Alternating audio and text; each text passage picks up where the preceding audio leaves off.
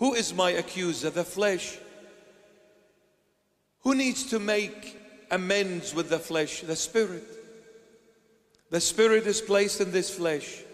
And as long as the spirit is in the, fle- in the flesh, the spirit is walking along with the flesh, who is the accuser. He says, Settle your case. The flesh.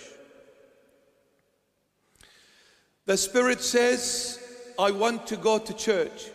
The flesh says, I'm taking you to the club. The spirit says, I want to praise the Lord. The flesh says, I will swear at everything around me. The spirit says, I want to be in the light. The flesh says, I'm taking you downtown where darkness awaits you. The spirit says, I want to be the, with the Lord Jesus. The flesh says, I'll take you to Satan. The flesh is the accuser all day long.